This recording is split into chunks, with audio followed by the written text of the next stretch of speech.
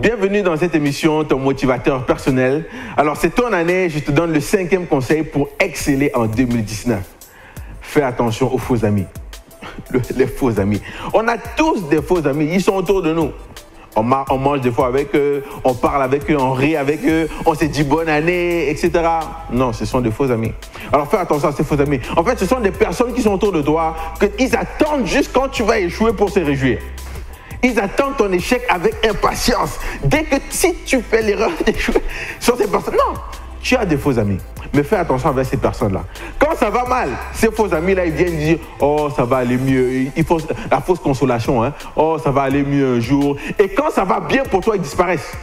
Euh, oui, quand ça va bien pour toi, ces faux amis disparaissent. C'est comme si en fait, ils avaient une certaine jalousie entre eux qui fait en sorte qu'ils ne sont pas capables d'assumer que toi tu réussis.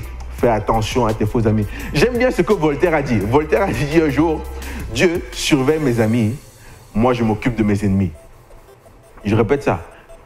Il a dit, Dieu surveille mes amis, moi je m'occupe de mes ennemis. Quand tu comprends la logique de cette phrase, ça veut dire qu'en fait, comme je le répétais, les plus grosses trahisons viennent des sont proches de toi. Alors fais attention aux faux amis. Fais attention aux faux amis. Oui, tu peux rester avec eux, tu peux, etc. C'est pas un problème, mais fais attention. Ne laisse pas ces personnes venir dans ton environnement pour te détruire. Ne laisse pas ces personnes venir détruire tes pensées. Fais attention à ces faux amis. Sinon, cela peut être néfaste pour ton avenir. Cela peut être néfaste pour ton futur. Cela peut être néfaste pour ton, pour ton objectif. Cela peut être néfaste pour ton entreprise. Même pour ta famille, cela peut être néfaste. C'est pour ça que ne dis pas toi à tout le monde. Ne dis pas toi à tout le monde. Ne, dis pas, ne parle jamais de ta prochaine étape, juste montre-leur.